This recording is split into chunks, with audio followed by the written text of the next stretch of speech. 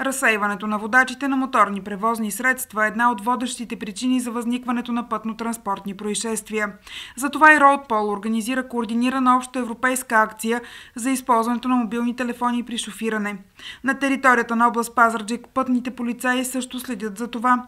Проверките се правят на принципа на линейен контрол.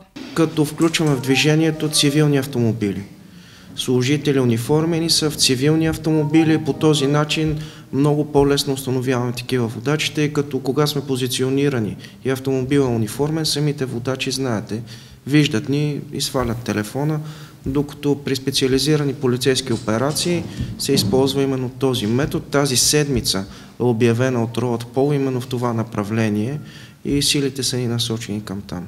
Глобата за използване на мобилен телефон без устройство, освобождаващи ръцете по време на движение е 50 лева.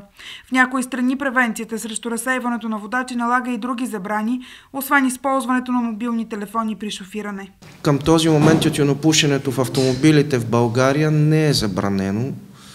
Не съм запознат. Еми в Гърция, доколкото знам, има ограничения, когато има малко дете в автомобила и глобата е доста жестока. В рамките на акцията се следи и за поставен предпазен колан. Другия сериозен проблем на пътя, за който полицията наблюдава непрекъснато е шофирането след употреба на алкохол и наркотични вещества. Конкретно за месец септември имаме установени 42 водачи, които управляват МПС под въздействие на алкохол или наркотични вещества, като те са разпределени по следния ред. До 1,2 промила са санкционирани 22 водачи, над 1,2 промила са 21 водачи, които са установени. Употребата на наркотични вещества или техни аналози от водачите на МПС през месец септември тази година е 14 броя. Тук отново имаме завишение.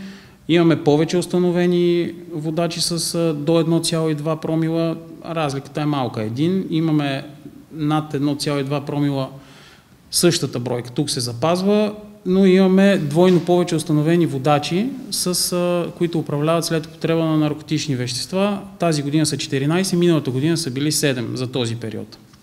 Имаме установени 28 неправоспособни, като тук запазваме нивата от миналата година.